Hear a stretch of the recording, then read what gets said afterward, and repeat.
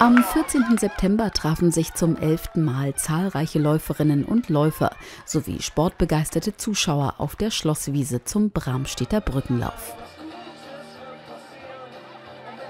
Schnellster an diesem Tag war Viktor Kirsch mit einer Zeit von 16 Minuten 13 auf 5 Kilometer. Aber auch die 10-Kilometer-Läufer lieferten beachtliche Bestzeiten.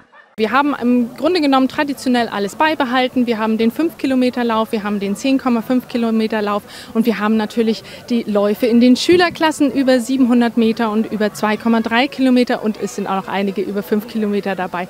Das heißt, wir haben 300 Starter heute am Start in fünf Läufen und äh, ja, das ist einfach eine ganz tolle Sache, dass immer wieder so viele Läufer dabei sind.